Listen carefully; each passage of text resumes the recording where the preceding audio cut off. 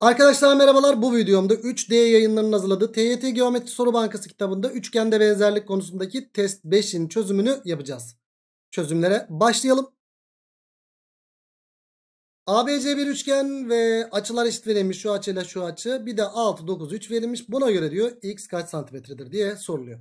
Gençler ne yapacağız? İki üçgen var birer açılar eşit verilmişse hemen ne yapıyorduk? Açıları eşit verilen üçgenlerde ortak açı var mı yok mu diye inceliyoruz. Hocam şu üçgenle büyük üçgende ortak açı bakın A açısı. E o zaman çizgi karaladığım üçüncü açı çift çizgi ise büyük üçgende çizgi karaladığım üçüncü açı çift çizgi olmak zorunda. Çünkü çizgi karaladığımın 180'e tamamlayan çift çizgi ise çizgi karaladığım 180'e tamamlayanı burada da çift çizgi olmak zorunda. E iki üçgende bütün açılar eşit oldu. Dolayısıyla iki üçgen açı açı açıdan benzer. Aynı açının karşısındakileri oranlıyoruz. Çizginin karşısı var burada. 6 bölü çizginin karşısı hop 12 eşittir. Burada çift çizginin karşısı var. 9 bölü buradaki çift çizginin karşısı 6 artı x deyip x'i bulacağız. Ya da kısa yol varsa yani güzel bir benzerlik katı varsa kafadan yapabilirsiniz. Hocam çizginin karşısı 6 iken çizginin karşısı 12. 1'e 2 oran var. Hocam çift çizginin karşısı 9 iken çift çizginin karşısı 18 olur. O zaman x'e kaç kalır? 12 kalır diyebilirsiniz arkadaşlar. Cevabımız böylelikle denizli oldu. Yukarıdaki verilenlere göre BC kaçtır diye soruluyor. Evet BC uzunluğu isteniyor arkadaşlar bizden. 90 dereceler varsa öncelikle ne yapıyorduk? Dik üçgen var mı? Hatta bazı saçma dik üçgenlerde Pisagor'u böyle bul, bulma, bulmadan da gidebiliyorduk haberiniz olsun. Burada saçma bir şey yok. 8 var 10 var. Ne üçgeni 6 8 10 üçgenden 6'yı yapıştırdık. Peki dik üçgenden bulamıyorsak dik üçgenli sorularda ne yapacağız? 90'ların 2 ya da 2'den fazla olduğu sorularda alfa beta Dal kardeşim alfa beta'ya. Alfa beta. Hocam alfa 90 sa sıradaki yine beta mıdır? Evet. Bakın şu üçgenle büyük üçgen ne oldu? Benzer oldu. Hemen aynı açının karşısındakileri oranlıyorum. Hocam beta'nın karşısı 6 beta'nın karşısı burada maalesef yok. Alfanın karşısı 8 bölü alfanın karşısı 16 eşittir.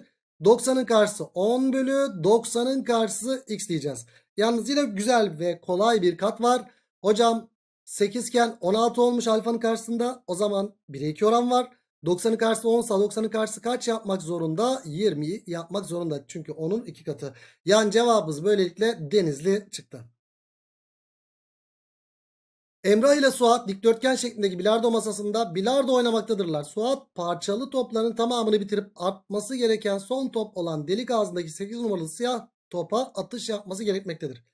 Fakat Suat'ın E noktasındaki beyaz topu Emrah'ın toplarına değdirmeden şekildeki yolu izleyerek düz bir şekilde göndermekte göndermek zorundadır. Gençler buradan buraya direkt atamayacağına göre banta çarptırıp böyle gelmiş. Normalde arkadaşlar biz bunu ışın sorularından biliyoruz. Fizikten de biliyoruz. Hani böyle ışık vurdu açıyla geri gidiyordu ya. Burada da top vurdu açıyla gidecek arkadaşlar. Küçük bir not düşürseydi alt tarafa güzel olabilirdi ama e, çünkü bilardo oynayanlar bilir. Falsol attığı zaman Top bu şekilde de gidebilir böyle bantta daha yakın bir şekilde de gidebilir ama düz bir şekilde atmış vurdu açıyla gidecek. Yani bu vurdu ve vurdu açıyla bu şekilde gidecek arkadaşlar. E hocam dikdörtgen şeklinde bir masa olduğu için bunlar da 90'ar derece. Açıları da alalım alfa alfa alfa 90 beta alfa 90 beta. Hocam şu üçgenle şu üçgen direkt benzer çıktı. Verilen bilgilere bakalım. Şurayı 30 vermiş. E, sonra 280 vermiş sonra 120 vermiş. 120 ise burası ne oldu? 90 oldu. E hocam artık benzerlik yapalım isterseniz. Öncelikle şuraya A diyelim. Buraya da 280 eksi A mı diyelim. Evet. Şu üçgenle şu üçgen benzer ya benzerliği uygulayalım. Alfanın karşısı 90 bölü. Alfanın karşısı 120 eşittir. Beta'nın karşısı A bölü. Beta'nın karşısı 280 eksi A oldu arkadaşlar. İşler dışlar yapabiliriz ama bence ben buradan yapmam. Yani şimdi baktığınız zaman niye böyle? Hocam benzerlik oranı 90 bölü 120 değil mi? 90 bölü 120'ye baktığınız zaman kaç? Sıfırları attınız 9 bölü 12 3 bölü 4 yaptı. Aa hocam benzerlik oranı 3 bölü 4. O zaman beta'nın karşısı direkt 3K. Beta'nın karşısı direkt 4K deseniz ve 7K 780 olsa yani 7K eşittir 280 pardon olsa K'yı da buradan 40 mı bulursunuz? Evet. O zaman burası kaç çıktı? 160 çıktı. E bizden neresi isteniyor? FB yolu. Hocam 120 160 sıfırları atsanız 12 16 20 üçgeni. Burası da ne yapacaktır o zaman? 12 16 20 üçgeninden e, 20'nin 10 katından 200 yapacaktır. Yani cevabımız böylelikle 200 oldu. Cevap Edremit oldu. Bir iş yerinin tavanında asılı duran 7,5 metre uzunluğundaki kalınlığı önemsiz demir levha şekil 1'deki biçimde O noktası etrafında hareket etmektedir. Evet hareket etmiş böyle. Sonra bu demir levha ok yönünde hareket ettiğinde şekil 2'deki biçimde yere paralel ve A ile B noktaları aynı doğrultuda olmaktadır. Arkadaşlar ipin uzunluğu 15 mi? Her iki şekilde de AB kablosu gergin durumda. Şu AB kablosu her iki şekilde de. Ve 15 metre olduğuna göre. Arkadaşlar 15 metre. Bu 15 metre. Yani bu ipin bu bize şeyi göstermiyor mu? Şuradaki zeminin tavana tavanın zemin olan uzaklığında 15 göstermiyor mu arkadaşlar? Gösteriyor değil mi? E hocam ipin uzunluğu bak 15 bak burası da 15. Şunun zemin olan uzaklığını gösteriyor. E ben buradan çizince saçma oluyor. O zemin olan uzaklığı şuradan göstersek şöyle süper olmaz mı? Evet şuranın kaç olduğunu biliyoruz arkadaşlar. 15 aklımızda bulunsun. A hocam 90'lar havada uçuşuyor. Ne yapacağız? Alfa beta. Alfa beta'ya daldık. İki üçgen ne çıktı? Hocam bu üçgenle bu üçgen benzer çıktı. Benzerlik oranı çok güzel. 90'ın karşısı 7,5 iken 90'ın karşısı 15 olmuş. Yani 1'e 2. O zaman alfanın karşısı A ise alfanın karşısı 2A'dır. E hocam tamamı 15'ti. Buraya 15 eksi A mı kaldı o zaman arkadaşlar H uzunluğu? Evet tamamı 15 olduğundan dolayı. Pisagor 15'in karesi eşittir. E, 2A'nın karesi artı 15 eksi A'nın karesi deyip işlem işlem işlemle A'yı bulacağız. Valla hipotenüs 15 ise ya 9 12 15'tir. 9 koyduğumuzda olmuyor. 12 koyduğumuzda oluyor mu? Oluyor. Evet. Burası 12 dersem A6 oluyor. A6 ise burası da kaç yaptı arkadaşlar? 9 mu yaptı? Evet 6 15'ten 6 çıkınca 9 yaptı. Evet hissederek bulduk arkadaşlar. 15 eksi A 9 yaptı. Yani H buradan A'yı ne bulduk? 6 bulduk arkadaşlar. E burada işlem yaparsan da A'yı 6 bulursun.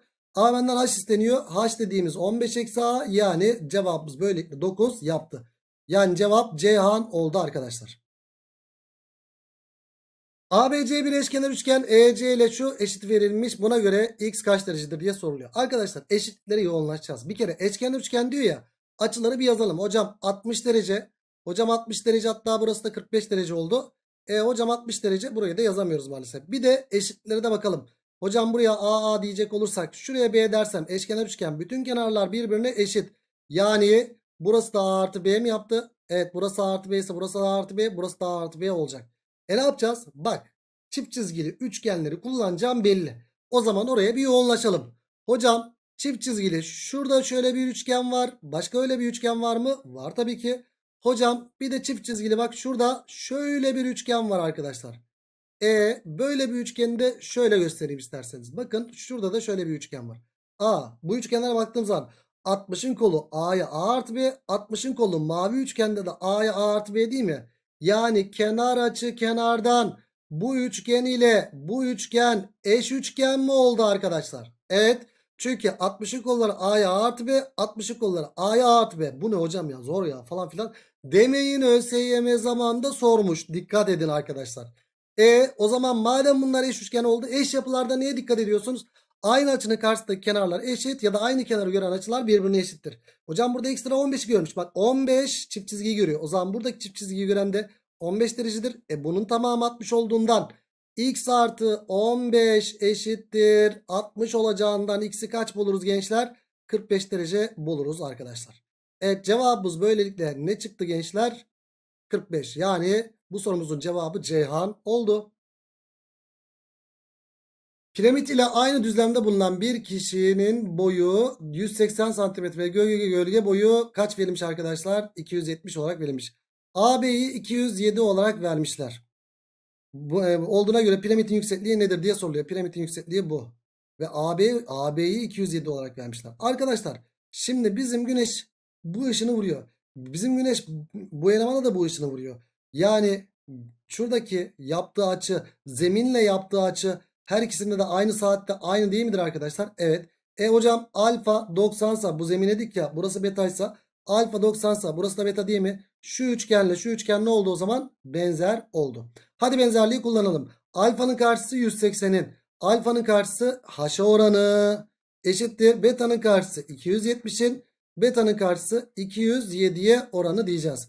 Hocam sıfırlar gitsin. 9'a bölsen 3, 9'a bölsen 2. Ee, 207'yi 3'e böldüğün zaman kaç yapıyor? 6 kere 3 18. 6 kere 3 3 kere 21. 207'yi hemen böleyim 3'e. 207'yi şurada 3'e bölüyorum arkadaşlar. Bölünüyor çünkü. 6 kere 3 18. Evet 69 yapıyor. Hemen 69 yaptı. Şununla şu gidince 69 yaptı. O zaman h da buradan ne eşit oldu? 69 çarpı 2'ye eşit oldu. Yani h buradan 9 9 18 6 6 12 e, 13 138 mi yapıyor? Evet cevabımız böylelikle Edremit oldu. Serhat iki eş kibrit çöpünü. iki eş kibrit çöpü. Şu eşitleri yazalım. Eş yapılar olduğunda eşitleri mutlaka yazın. Böyle üçgenvari bir şey olsaydı açıları da yazacaktık hatta değil mi? Evet.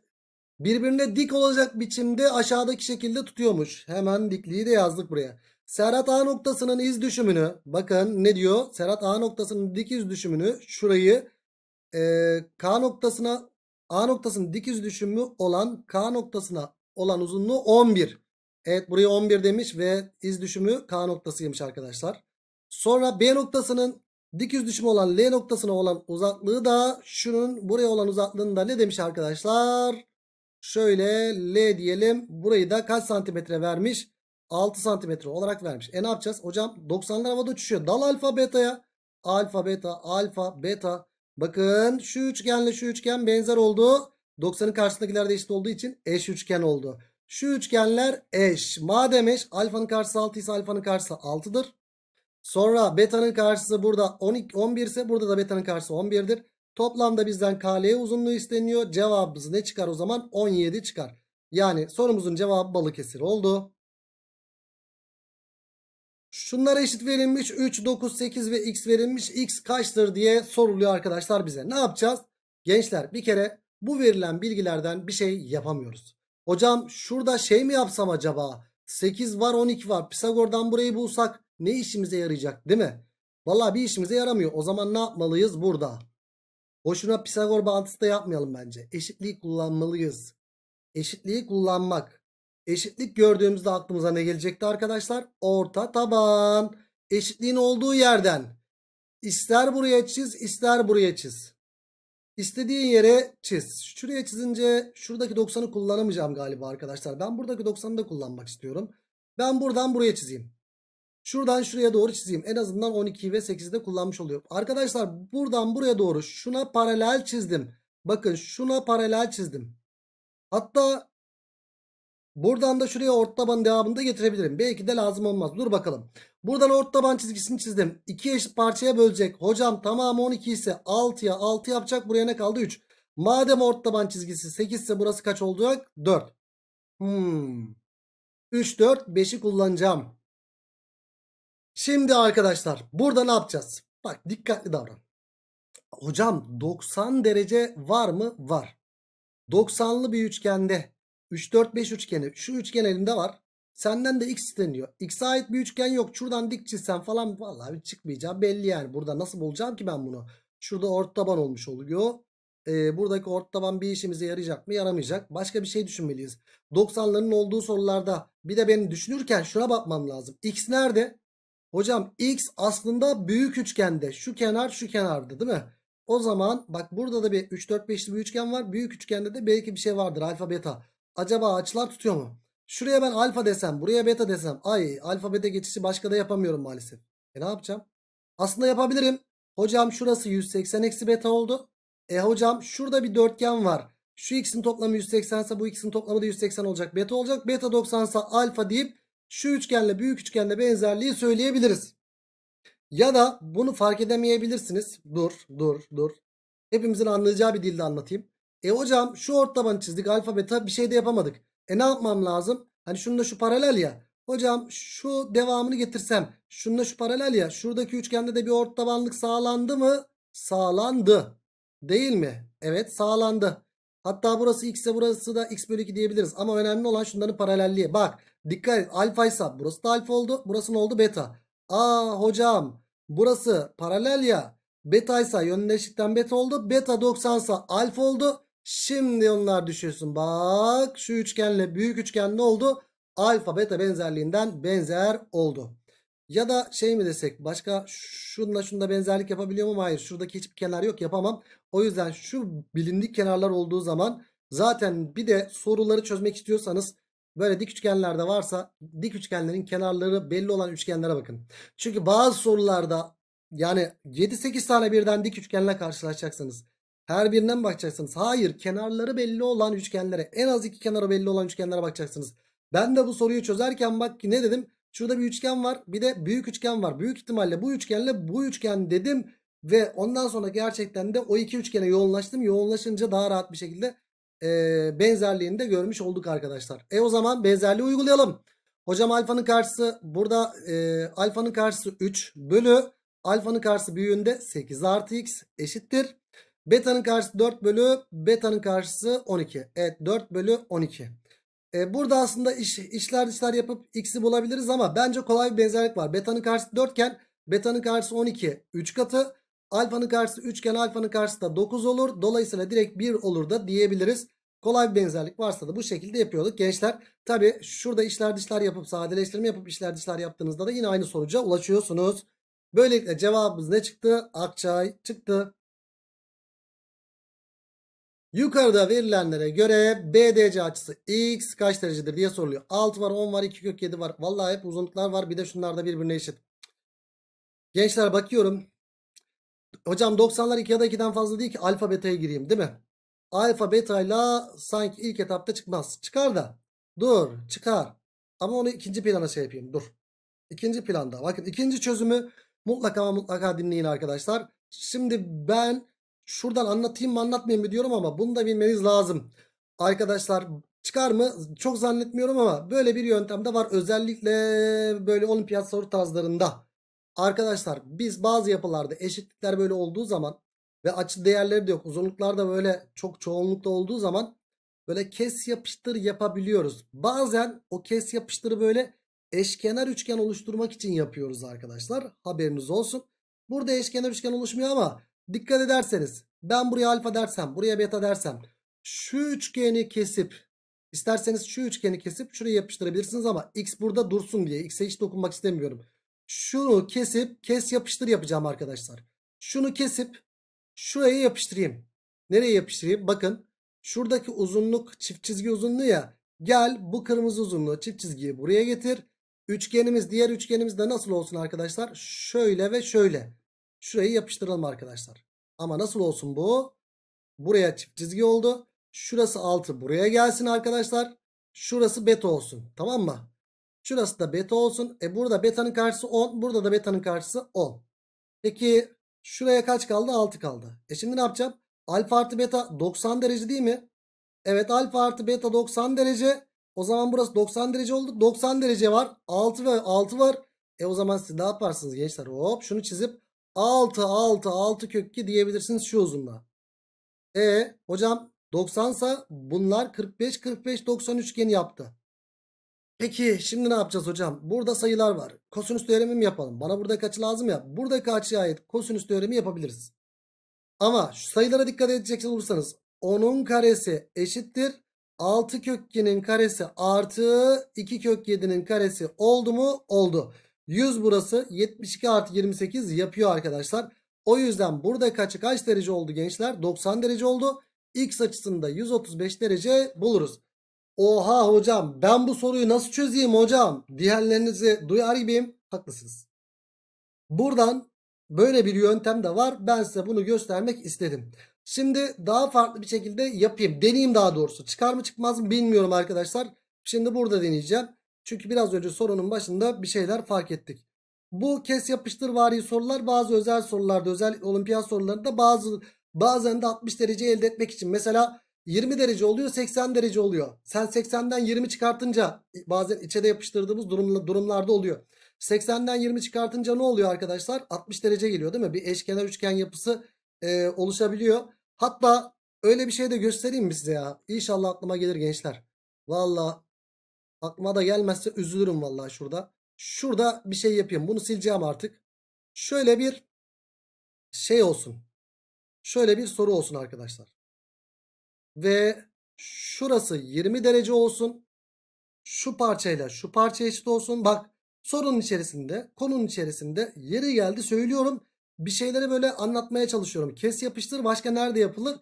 60 dereceyi elde etmek için hamlelerde de yapılabiliyor demiştik. Ondan sonra şu parçayla da hatta şu parçayı şöyle göstereyim. Sorumuzun e, bilgileri şu siyah bilgilerle verilmiş olsun. Hocam şu parçayla şu parça eşit verilsin. Şu parçayla da şu parça eşit verilsin. Şuradaki açı 20 derece verilsin. Ee, başka ne verilsin? Başka bir şey daha verilsin mi? Verilsin. Şuradaki açı yok. Tamam bilgiler bunlar olsun. Ve bizden şuradaki açı nedir diye sorulsun. Sanırım böyleydi arkadaşlar. Şimdi ne yapacağız arkadaşlar? Bakın. Hocam 20 iken burası da 20 mi? 20. Bak 20 20 burası ne yaptı? 40 yaptı. E hocam ne yapacağız? Bak şu parçayla şu parça alakasız yerde. E ne yapalım? Hocam şunu alıp kesip öbür tarafa yapıştıralım. Şunu alıp şuraya yapıştıralım. Gel bunu buraya getir. Hadi bakayım aynen getir bakayım onu böyle. Hop bala cup bala. Şöyle getirdin. Bak ne oldu arkadaşlar? Kes yapıştır yaptığın zaman bazen 60 derece elde edebileceğimiz zaman 40'ın yanına ben 20 derece koyunca ne oldu? 60 derece oldu. Gördünüz mü? Gerçekten işe yaradı. E hocam bak şu eşitleri yazmazsanız olmaz. Bu nasıl kesip buraya yapıştırdım ben şimdi? Yapıştırdım. Hatta o yapıştırdığımı da şöyle göstereyim isterseniz. Bakın şöyle bir yapıştırdım. Hocam yalnız bu üçgeni buraya yapıştırdın ama şu çift çizgileri de koyayım şöyle. Şöyle şöyle koydum. Peki ne çıktı burada 60 derece? Aa 60 ve şunlar da birbirine ikizkenar mı? İkizkenar eşit. Ne yapacağız burada? Hop şunu da şöyle çizersem. 60 oldu ya. 60 ise 60 60. Eşkenar üçgen oldu mu arkadaşlar burada? Oldu. Şurası eşkenar üçgen arkadaşlar.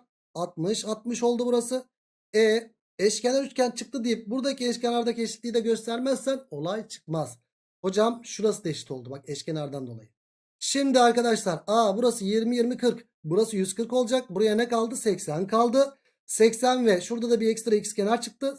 E, ikizkenarda tepe açısı 80 ise 180'den 80 çıkart 100. 2'ye böl 50 50 oldu. Yani buraya da ne kaldı arkadaşlar? Şurası da 50 olduğuna göre buraya 30 kaldı. Bak ister bu açıyı sorsun. Cevap ne çıktı? 110. İster bu açıyı sorsun. Cevap ne çıktı? 30.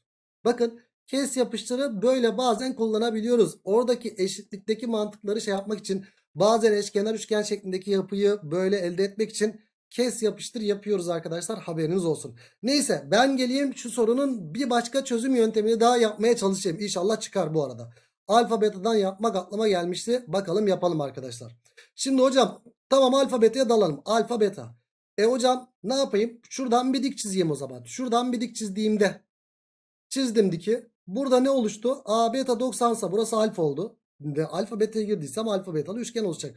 E hocam burada da dik çizeyim. Ama bu dik nereye düşecek? Buraya mı düşecek dışarı mı düşecek? Şurada biraz cevap anahtarı bizi yönlendirebilir. Baktığımız zaman x geniş açıymış ya. Geniş açıda yükseklik nereye düşer arkadaşlar? Dışarıya doğru düşer. Demek ki çizdiğimiz yükseklik nereye düşecek arkadaşlar? Dışarıya. Şöyle düşsün. E hocam alfa 90 sa burası da beta. Şu üçgenle bu üçgenle şöyle baktığınız zaman arkadaşlar bu üçgenle bu üçgen ne oldu? Benzer. Hatta ve hatta 90'ın karşısındakiler eşit olduğu için eş üçgen oldu. E o zaman bu alfanın karşısı A ise alfanın karşısı A derim. Hocam burada beta'nın karşısı var. Şurası 6 buraya B dersem. Hocam buraya B dedim. Beta'nın karşısı B artı 6 ise beta'nın karşısı B artı 6 yaptı. Biz şimdi neyi kullanmadık? Hocam 2 kök 7'yi kullanmadık. E kullan. Kullanalım arkadaşım. A kare artı B kare buradan neye eşittir? 2 kök 7'nin karesine yani 28 eşittir. Buradan bir şey geldi. Hocam neyi kullanmadık? Onu kullanmadık. E kullan. E, buraya B dedim. Burası A. Buraya da 6 eksi A mı kaldı? Evet. 6 eksi A ve 6 artı B'nin kareleri toplamı. 6 eksi A'nın karesi artı 6 eksi B'nin karesi de neye eşit olacak arkadaşlar? 100'e. Açalım bakalım bunu. 36 eksi inşallah gelir valla ama gelecek gibi duruyor. 36 eksi 12a artı a kare artı 36 eksi 12b artı b kare eşittir. 100 mi yaptı? Evet. Hocam a kare artı b kare kaçtı? 28. Bak dikkat. Hocam 36. 36 72. 28 daha şu a kare ile b karenin toplamı 28 daha 100. Burada da 100 var mı? Gitti. Yani ne geldi buradan?